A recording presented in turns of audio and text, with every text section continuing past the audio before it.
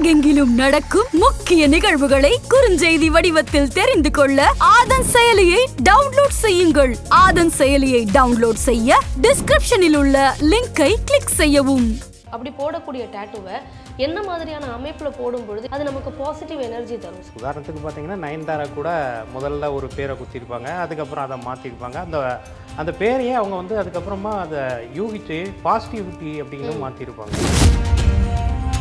நீங்கள் கிரிக்கெட் வீரர்லாம் பார்த்தீங்கன்னா விராட் கோலியோட பாடியிலலாம் நிறைய டேட்டு இருக்கும். அப்புறமா வந்து ஹர்திக் பாண்டையா யுனிவர்சல் சிம்பிள்ஸாக இருக்கக்கூடியதை நம்ம வந்து போடுறதுனால நமக்கு வந்து நிறைய எனர்ஜி வைப்ஸ் வந்து அதிகமாக கிடைக்கும்.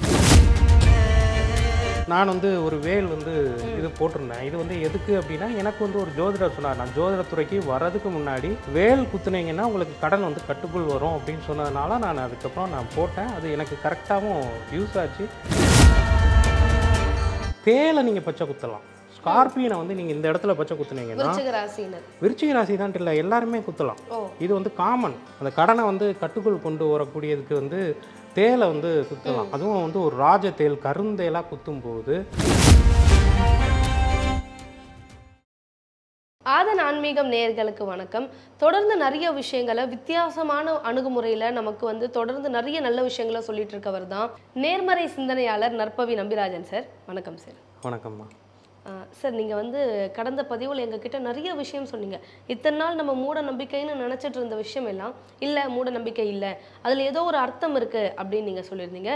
அதே வகையான கேள்விகளோடு தான் இன்றைக்கும் வந்திருக்கேன். ஏன்னா அதிகமான மக்கள் வந்து நம்ம செய்கிறது சரியாக தப்பான்னு தெரியாமலே செஞ்சிட்ருக்காங்க அது எல்லாத்தையுமே விளக்குற வகையில் தான் இன்றைக்கி நம்மளுடைய பதிவு அமைய போகுது. முதல்ல கேள்வி என்ன அப்படின்னு பார்த்தீங்கன்னா டேட்டூ போடுறோம்ல சார் இந்த டேட்டூ ஒரு முறை நம்ம உடம்புல பதிஞ்சிருச்சு அப்படின்னா எடுக்கிறது ரொம்ப கஷ்டம். அப்படி போடக்கூடிய டேட்டூவை என்ன மாதிரியான அமைப்பில் போடும் பொழுது இல்லை என்ன மாதிரியான ஷேப்பில் போடும் பொழுது அது நமக்கு பாசிட்டிவ் எனர்ஜி தரும் சார் கண்டிப்பாக வந்து ஆக்சுவலாக வந்து டேட்டூ அப்படிங்கிறதே வந்து உங்களுக்கு பார்த்தீங்க அப்படின்னா அது வந்து நம்ம ஆதி காலத்துலேருந்தே இருக்குது ராஜாக்கள் காலத்துலேருந்தே இருக்குது நம்ம பாட்டிமார் காலத்துலேருந்தே இருக்குது ஊர் உலகத்தில் வந்து கிராமப்புறங்களில் டேட்டு குட்டி இருக்கிற பாட்டிகள் நம்ம நிறைய பார்த்துருப்போம்.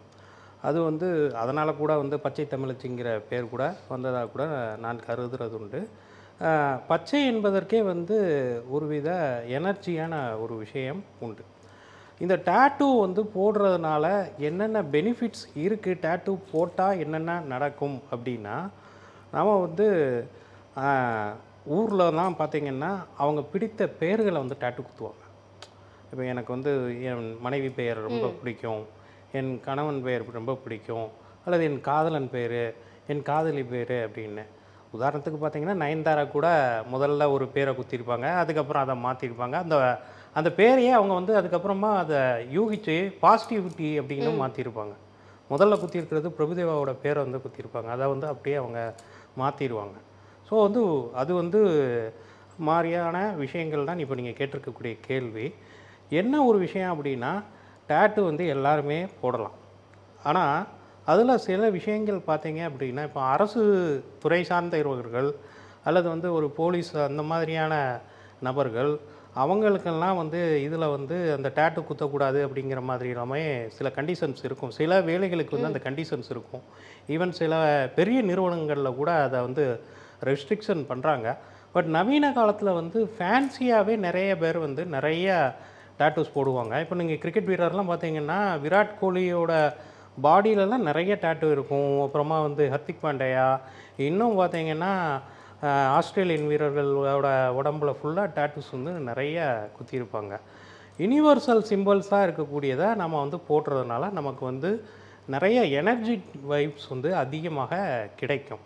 ஸோ உதாரணமாக வந்து நம்ம ஊர் சைடு அப்படின்னு பார்த்தீங்க அப்படின்னா இந்த முருகன் படத்தை டேட்டூ போடுவாங்க. முருகன் வேலை டேட்டூ போடுவாங்க மயிலை டேட்டூ போடுவாங்க. சிவபக்தர்கள் வந்து சரி சிவனை ரொம்ப விரும்பி கும்பிட்றவங்க வந்து பார்த்திங்கன்னா நான் பார்த்த வரைக்கும் நிறைய பேர் வந்து என்ன பண்ணியிருப்பாங்கன்னா இந்த பக்கம் நந்தியம் பெருமானையும் இந்த பக்கம் சிவபெருமானையும் போட்டிருக்கக்கூடியவரை நான் பார்த்துருக்குறேன். அதே மாதிரி முதுகு ஃபுல்லாகவே ஒருத்தருக்கு வந்து நடராஜ பெருமானோட இதை வந்து டேட்டுவாக போட்டிருக்காரு. அதுக்கப்புறமா வந்து பார்த்திங்கன்னா இன்னும் சில பேர் வந்து பார்த்திங்கன்னா மாணிக்க வாசகருக்கு வந்து சிவபெருமான் வந்து ஒரு தீட்சை அளிக்கிற மாதிரியான ஒரு குரு உபதேசம் பண்ணுறக்கூடிய அந்த ஒரு புகைப்படத்தை அப்படியே தத்ரூபமாக தன் முதுகில் வந்து டேட்டு போட்டிருக்கக்கூடிய நபரை நான் பார்த்துருக்குறேன். மலேசியாவில் இருக்கிறவங்க நிறையா வந்து அந்த பத்துமலை முருகனெல்லாம் நெஞ்சில் குத்தி இருக்கிறாங்க இப்போ பர்த்திவீரன் படத்தில் கூட கூட அவர் வந்து டேட்டு போட்ட மாதிரியான ஒரு இதெல்லாம் வரும். சினிமாவில் வந்து இந்த டேட்டு பற்றின விஷயங்கள் நிறையா வந்திருக்கு. ஈவன் வந்து செலிப்ரிட்டிஸ்லாம் கூட வந்து டேட்டு குத்து தான் செய்கிறாங்க அவங்களோட ஏதாவது ஒரு நல்ல விஷயங்களை இப்போ வந்து திரிசா கூட வந்து டேட்டு போட்டிருப்பாங்க. ஸோ நம்மளுடைய நட்சத்திர குறியீடு சார்ந்த விஷயங்களை நம்ம குத்துறதுனால அது எப்போவுமே நம்ம கூட தான் இருக்கும். அது மாறவே மாறாது. நம்ம நட்சத்திரம் எங்கேயும் மாற போகிறது கிடையாது. நம்ம எந்த பிறந்த நட்சத்திரமோ அந்த நட்சத்திரம் அப்படியே தான் இருக்கும். அதில் இருந்து மாறுறதுக்கான வாய்ப்பே கிடையாது. அதே மாதிரி நம்ம லக்னத்துக்கான இது நம்ம ராசிக்கான குறியீடு இப்போ மேஷ ராசியாக இருந்தால் அவன் ஒரு ஆட்டு இது புகைப்படத்தை ஆட்டு சின்னத்தை வந்து குறியீடாக போடலாம். அல்லது முருகனோட இதை வந்து அவன் ஒரு குறியீடாக போடலாம். இப்போ நான் வந்து ஒரு வேல் வந்து இது போட்டிருந்தேன். இது வந்து எதுக்கு அப்படின்னா எனக்கு வந்து ஒரு ஜோதிடர் சொன்னார். நான் ஜோதிடத்துறைக்கு வர்றதுக்கு முன்னாடி நிறைய கடன் பிரச்சனைகள் இருந்தப்போ வேல் குத்துனீங்கன்னா உங்களுக்கு கடன் வந்து கட்டுக்குள் வரும் அப்படின்னு சொன்னதுனால நான் அதுக்கப்புறம் நான் போட்டேன். அது எனக்கு கரெக்டாகவும் யூஸ் ஆச்சு. ஏன்னா எனக்கு அது வந்து ரெண்டாம் பாவமாக துலா லக்னமாக இருக்கிறதுனால ரெண்டாம் பாவமாக செவ்வாய் தான் வரும். அதனால் அது வந்து பத்தாம் இடத்துல வேறு இருக்கும். நீச்ச செவ்வாயை இயக்கக்கூடிய விஷயமா வந்து அது வந்து பிரமாதமாக வேலை செஞ்சது. எனக்கு நான் இப்போ கடன் இல்லாமல் தான் நான் வந்து வாழ்ந்து கொண்டிருக்கின்றேன். ஸோ அது எனக்கு செட் ஆச்சு. ஸோ அப்புறம் நான் நிறைய பேரை வந்து நான் வந்து டேட்டு வந்து கடன் பிரச்சனையில் வரவங்களா இருந்தால் டேட்டு போடுங்க அப்படின்னு சொல்கிறது உண்டு. அப்புறம் வேல் மட்டுமல்லாமல் தேலை நீங்கள் பச்சை குத்தலாம். ஸ்கார்பியனை வந்து நீங்கள் இந்த இடத்துல பச்சை குத்துனீங்கன்னா விருச்சிக ராசி தான் இல்லை எல்லாருமே குத்தலாம். இது வந்து காமன் சில விஷயங்கள்லாம் அந்த கடனை வந்து நிவர்த்தி செய்யும். உங்களுக்கு வந்து அந்த கடனை வந்து கட்டுக்குள் கொண்டு வரக்கூடியதுக்கு வந்து தேலை வந்து குத்தலாம். அதுவும் வந்து ஒரு ராஜ தேல் கருந்தேலாக குத்தும்போது அந்த கொடுக்கு அப்படி தூக்குனாப்புல இருக்கும். என் என்னுடைய ஃபாலோயர்ஸில் நிறைய பேர் அதை பார்த்து வந்து அவங்க போட்டிருக்காங்க. நான் வந்து சொல்கிறதே உண்டு. விருச்சிக ராசி விருச்சிக லக்கணமாக வரவங்க இல்லை ஆறாம் பாவம் எட்டாம் பாவம் அந்த மாதிரியாக இருக்கக்கூடியவர்களுக்கு எல்லாமே அந்த தேயிலை வந்து சிம்பிளாக போட சொல்கிறது உண்டு. அது அவங்களுக்கு சக்ஸஸ் ஆகிருக்கு ஸோ இது வந்து பெர்மனண்ட்டான ஒரு சொல்யூஷனுக்காகத்தான் நம்ம இதை பண்ணுறோம் ஏன்னா ஒரு சில பேரால் வந்து இப்போ அப்ராடில் இருக்காங்கன்னு வைங்க. அவங்கள போய் நீங்கள் வந்து திருச்செந்தூர் போங்க இல்லை வந்து பழனிக்கு போங்க இல்லை இந்த கோயிலுக்கு போங்கன்னு சொல்லவே முடியாது. அவன் அஞ்சு வருஷம் பத்து வருஷம் அங்கே கஷ்டப்பட்டுட்டு இருப்பான். அவனுக்கு வந்து ஆனால் இது ஈஸி டேட்டுங்கிறது எந்த கண்ட்ரியில் வேணாலும் போடுறதுக்கான வாய்ப்பு அவங்களுக்கு சுலபமாக கிடைக்கும். அங்கே போய் ஒரு முருகன் கோயில் தேடிட்டு இருக்க முடியாது. ஆனால் இதை வந்து அவங்க ட டக்குன்னு பண்ணிக்கலாம். ஸோ அது லைஃப் டைம் அவங்களுக்கு இருக்கிற மாதிரியான குறியீடை நம்ம செலக்ட் பண்ணி கொடுத்துட்டோம்னா அவங்க தாராளமாக அதை போட்டுக்கலாம். இப்போ நானுமே அடுத்து வந்து நிறைய குறியீடு போடுறதுக்காக தான் நான் அடுத்து பண்ண போகிறேன் ஏன்னா இன்ஃபினிட்டி குறியீடை வந்து பயன்படுத்திக்கிட்டு இருக்காங்க அந்த இன்ஃபினிட்டியை வந்து நம்ம குறியீடாக போடலாம். நிறைய பேர் இன்ஃபினிட்டியை போட்டிருக்காங்க. பட்டர்ஃப்ளைலாம் யுனிவர்சல் சிம்பிள் ஸ்வஸ்திக்கு வந்து யுனிவர்சல் சிம்பிள் அதே மாதிரி வந்து ஹம்சமுத்திரை மாதிரி இருக்கும். அது யுனிவர்சல் சிம்பிள் அப்புறமா அந்த ஒற்றைக்கண் குறியீடுன்னு நான் சொல்கிறது உண்டு. இலுமினாட்டிஸ் பயன்படுத்தக்கூடியது அந்த இதை வந்து யுனிவர்சல் சிம்பிள் அது வந்து பார்த்திங்கன்னா ரூபாயில் வந்து டாலர் நோட்டில் அந்த ஒற்றைக்கண் குறியீடு இருக்கிறதுனால தான் அது உலகத்தையே இயக்கக்கூடிய ஒரு பணமாக அமெரிக்கன் டாலர்ஸ் வந்து இருக்கிறதா? நிறைய பேர் அந்த குறியீடு சம்மந்தப்பட்ட விஷயங்களில் உள்ளவங்க அதை தெரிவிச்சிருக்காங்க. ஸோ வந்து பச்சை குத்துறது அப்படிங்கிறதே வந்து பார்த்தீங்க அப்படின்னா அது ரத்தத்தோட கலக்கக்கூடிய ஒன்று. நம்ம ரத்தம் வந்து வெளியில் வரும். நமக்கு நாமே வந்து ஒரு ஊசி போட்டுக்கிற மாதிரி தான் அது வந்து உதாரணமாக அது எப்போ வந்து அவங்களுக்கு தோணும்னு ஒரு இது இருக்குது புதன் தசை நடக்கும்போது புதன் புத்தி நடக்கும்போது அல்லது செவ்வாய் செவ்வாய் சம்மந்தப்படும் போது அவனுக்கு ரத்தம் வெளியில் வரணும்னு இருக்கிறதுக்கு நான் சில பேருக்கு என்ன தெரியுமா சொல்லுவேன்? அவனுக்கு ஒரு ஆக்சிடென்ட் ஆகிற மாதிரியான ஒரு சூழ்நிலை இருக்குது ரத்தம் வெளியேறக்கூடிய இது இருக்குது. செவ்வாய் மேலே கேது போகுதோ இல்லை ராகு போகுதோ அப்படிங்கும்போது உதிரப்போக்குங்கிறது வெளியில் வர வேண்டிய சூழ்நிலையாக இருக்கும். அப்போ போய் ஒரு டேட்டூ அவன் போட்டானா அந்த இன்சிடெண்ட்ல இருந்து அவனை தப்பிக்க வைக்கக்கூடிய விஷயங்கள் கூட ஏன்னா எப்படினாலும் குத்தும்போது ரத்தம் வெளியில் வரும். அவன் ஒரு வாரத்துக்கு அந்த புண்ணோட இருக்க வேண்டியதாக இருக்கும். அப்போ அது ஆட்டோமேட்டிக்காக அவனுக்கு ஒரு ஒரே கல்லில் ரெண்டு மாங்காங்கிற மாதிரியாக சில விஷயங்கள் நடக்கும். அது கண்டிப்பாக நன்மை தான் அதனால் வந்து நாம் வந்து நமக்கு சரியான குறியீடை பார்த்து போடணும். இப்போ உதாரணமாக நட்சத்திர தாரையை எடுத்துக்கிட்டோன்னு வைங்களேன். அதில் வந்து நிறையா வந்து நமக்கு நன்மை செய்யக்கூடிய நட்சத்திர குறியீடுகள் இருக்கும். தீமை செய்யக்கூடிய குறியீடுகளும் இருக்கும். நாம் வந்து தீமை செய்யக்கூடிய குறியீடை போட்டோம்னா இப்போ நம்ம ஒரு மொபைலில் வச்சுருக்கோம்னா அதை டெலீட் பண்ணிடலாம். பட் இதில் வந்து அப்படி பண்ண முடியாது. அந்த இமேஜை சிலதை மாற்ற முடியும். சில இமேஜை அழிக்கணும்னா அது பெரிய ஒரு காம்ப்ளிகேஷனான ப்ராசஸ் ஸோ அது தெரியாமல் நம்ம பண்ணிடக்கூடாது. இப்போ இன்ஃபினிட்டி சிம்பிளே வந்து நான் ஆரம்பத்தில் டேட்டு போட சொன்னப்போ நிறைய பேர் என்ன பண்ணிட்டாங்க? அழகழகாக டிசைன் பண்ணணும்னு அந்த இன்ஃபினிட்டியை இன்கம்ப்ளீட்டாக பண்ணி விட்டுறாங்க. இப்போ பட்டர்ஃப்ளை சிம்பிள் போடுவாங்க. அதில் வந்து அந்த ரெக்கைகளோடு இருக்கும்.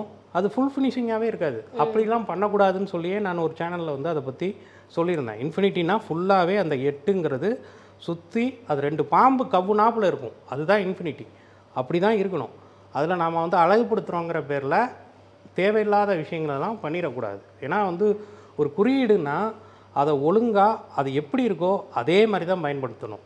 மாற்றி பயன்படுத்தினதுனால தான் ஹிட்லர் வந்து சூசைட் பண்ணுற அளவுக்குலாம் போயிடுச்சு. அவர் வந்து சு சொஸ்தி குறியீடை பயன்படுத்தி பெரிய அளவு சக்ஸஸ் வந்தார். சரி இதை வந்து நேராக பயன்படுத்தினா இவ்வளோ சக்ஸஸ் இருக்கே. இதை ரிவர்ஸில் பயன்படுத்தினா நமக்கு இன்னும் பெரிய அளவு சக்ஸஸ் ஆகும்னு சொஸ்திக்கு வந்து இப்படி இருக்கும். அதையே அவர் மாற்றி ரிவர்ஸில் போட்டு இது பண்ணார். ஆட்டோமேட்டிக்காக அவருக்கு வந்து அது எதிர்மறை ஆயிடுச்சு அதுதான் நேர்மறைக்கும் எதிர்மறைக்கும் உள்ள வித்தியாசங்கள். ஸோ அப்போ குறியீடை நம்ம பயன்படுத்தும் போது சரியான இதில் பயன்படுத்தணும். அதுவும் யுனிவர்சல் குறியீடை நம்ம பயன்படுத்தணும்னா நமக்கு பெரிய அளவு பிரச்சனைகள் இருக்காது. தனிப்பட்ட குறியீடை பயன்படுத்துகிறோம் அப்படின்னா நமக்கு என்ன தசாபுத்தி நடக்குது? நமக்கு அதுக்கு பாதகாதிபதியா மாரகாதிபதியா இல்லை அஷ்டமாதிபதியா யோகாதிபதியா லாபாதிபதியா இவ்வளோ விஷயங்களை பார்த்து தான் இது வந்து லைஃப் டைம் போடக்கூடிய டேட்டுவா இல்லை வந்து இப்போ குறுகிய காலத்துக்கு போட வேண்டியதா? அப்படின்லாம் பார்த்து தான் நாம் பண்ணணும். இப்போ ராகு தசை ஒருத்தனுக்கு நடக்குதுன்னு வைங்க. அவங்க வந்து டிராகனை டேட்டுவாக போடலாம். குரு தசை ஒருத்தங்களுக்கு நடக்குதுன்னு வைங்க.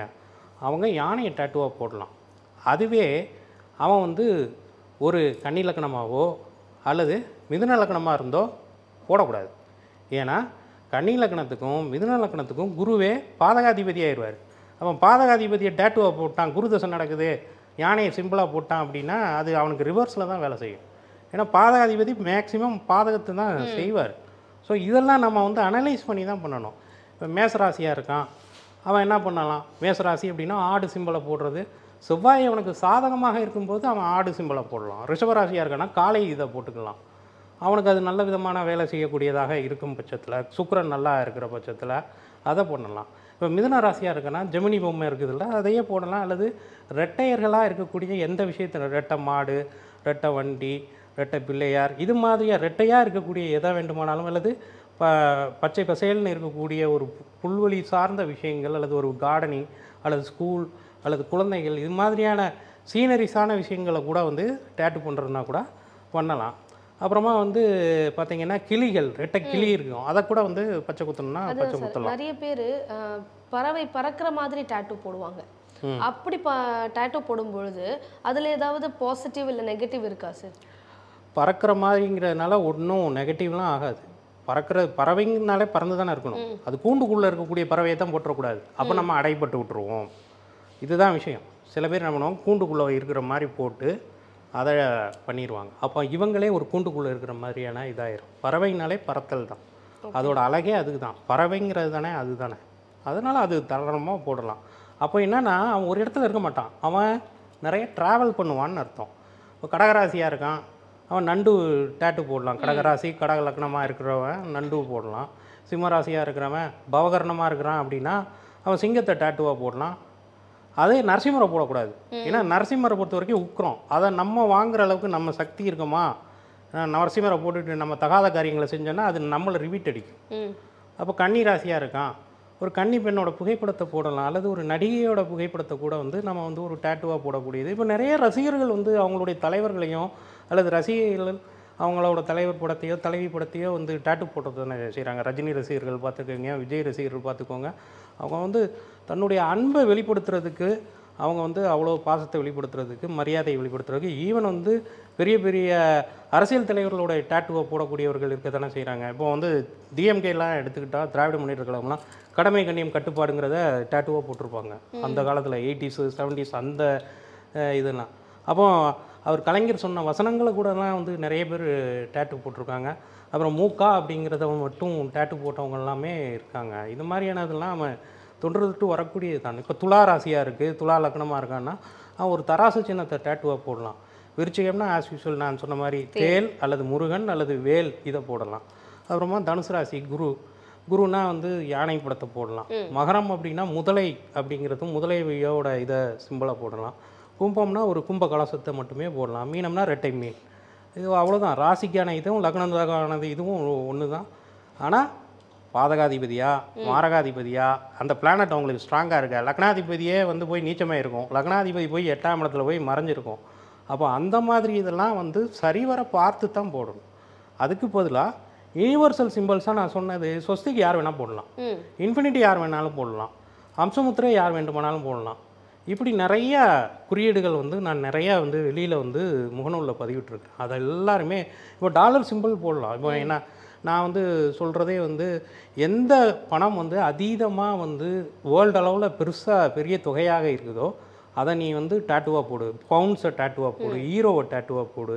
அதுக்கப்புறமா வந்து டாலர்ஸை டேட்டுவாக போடுன்னு சொல்லியிருக்கேன். போட்டிருக்காங்க. அது அவங்களுக்கு நல்ல விதமான பெனிஃபிட்ஸாக தான் இருக்குது நிறைய விஷயங்கள் நாங்கள் நினச்சி பார்க்காத ஆன்சரை நினச்சி பார்க்க முடியாத மாதிரி இவ்வளோ எளிமையாக சொன்னீங்க. ரொம்ப நன்றி சார் நன்றி.